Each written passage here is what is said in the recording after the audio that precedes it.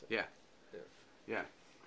Well, we were uh, up on the Blue Ridge Parkway there, and they had a, um, a, a cultural museum. It was in, I believe, it was in the Virginia part, and they were showing the the Great Wagon Trail, which led out of the immigrants would come, the German and the Irish and the Scots would come into Philadelphia, and then they would come down the Appalachian Trail, basically. And there was a wagon trail, and then there was two. Basically, there was a fork in the road. Uh, if you went left, you went south down through the Carolinas into Georgia, and if you went um, if you went left, and if you went right, you went into Tennessee and Kentucky, and points west.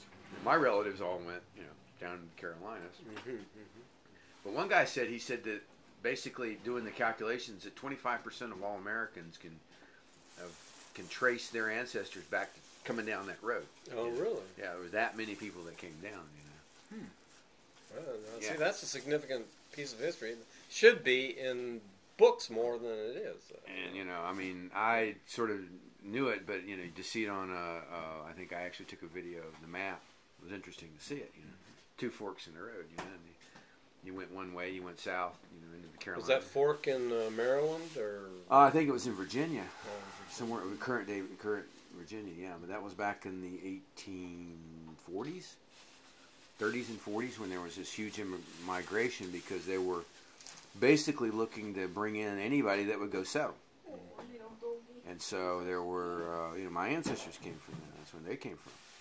Germans, and so the situation there was is if you were a poor dirt farmer, you had no chance of buying land or moving up. You know, you certainly couldn't go to the university or whatnot, and so why not? You go to a strange country, you don't speak English, but you can learn it. And you know, after generation, the the old language is lost anyway. Everybody would learn English, and then they, uh, because my relatives then were Southerners and they fought in the Civil War. They were on the South. You know, they were Southern Confederate. You know, the ones that I know of. Um, and there was there was you know, I, I, my my guess was after one or two generations there was no tie whatsoever to Germany. You know, that was all past. You know. But that was in the 18, and so I guess, and they were all farmers looking for land, and wherever they could get free land or land that was you know incredibly dirt cheap, that's where they settled. And some didn't find it; they just kept going, and they kept going, and they went all the way to California. You know, eventually, you know, you just kept looking for it till you found it. But that's what they did, and so they weren't city people; they were farmers. Yeah, and there, uh, besides the Germans, there was uh, they called them Scotch Irish, Yeah, and uh, they were responsible for what we call country music now. Apparently, Yeah. Well, that's the the the interesting thing about the mountain music, which is why we were kind of you know we like it, and you could see the banjo came from Africa, right. and the fiddle came from Germany, uh, Ireland, England, Mhm. and Scotland. Right. And so the two came together, and you had the banjo and the fiddle, and that became the mountain music, and that was what people because they were so remote. What I thought was interesting is that one of the other interesting things I remember was that the areas in some of those areas were fairly populated because they could get the free land, and you know basically if you could settle and you know make a go of it, you could keep it. In the early, and so they would be, you know, you'd see the landmarks there in the Blue Ridge Parkway. That was saying, you know, if you they find cabins, you know, if you hike back out, you can find remains of cabins and buildings, you know, where the people would settle. Now nobody was there because the winters are pretty tough. Yeah, winters are snowy. You know, it's heavy snow. Uh, they closed down the parkway, I think November 1st, because of snow and ice. But, yeah, it would be today. It would be closed, you know. Today's November 1st. Right. Right. Right. So it would be closed, you know. Um, But, But- see if they had that covered and, bridge and- there. and life was, you know, we, we listened to this guy talk about how they would do a wooden chair, and you know, finding the trees on the certain side of the slopes, and the you know, you'd want to get a tree that wasn't twisted, the bark wasn't twisted, and they would strip it, and then they would they would how they would make the the legs and the back, and then the seat would be like woven with strips of wood, and it had to be certain kind of, you know, it was like take a long time. But the other interesting thing was is, is time was a different commodity because you said you would put your order in with the chair maker, and it might be next year before you got it, or three or four months. It wasn't like you you know you expect it next week. Or you go down to Walmart, you want a chair, you go down and buy it, right? Mm-hmm. That wasn't it. So time was a different commodity. And they got together uh, on the weekends. That's where they played the music. There was obviously no radio, at least initially. Then in the 30s, I guess the radio became much more prevalent. Maybe the late 20s, somewhere in there, the radio, and, and then eventually the TVs, and it sort of changed. But originally, it was a community type thing, and they played the fiddle and the banjo. Interesting, you know how that. But the other thing that we noticed that I noticed was is that in those festivals there were very few young people. You know, it's it's a passing. You know, we're talking about culture hmm going, and I thought forever Probably that, TV is responsible for that. uh, TV and Yeah. newer music, but some of the younger people are learning it. But obviously, the better ones are the older people. Mhm.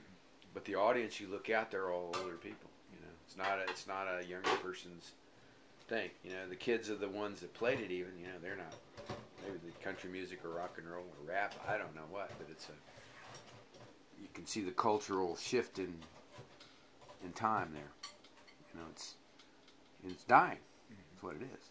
Eventually, there'll only be videos like mine. You know, Laurel Bloomery, you know, Bill Birchfield from Roan Mountain and TV Barnett from Roan Mountain, North Carolina. And those guys are got to be in their late 70s. Have you ever heard of a guy named Alan Lomax? Alan Lomax. Name, you know, the name sounds familiar. But, He was a guy back in the 30s that went around and re- recorded hmm music that It must. It wa- could have was going to die. It was in danger of dying out. if he Right, right. And uh, he's the one that recorded Lead Belly. I think he discovered Lead Belly. Uh-huh.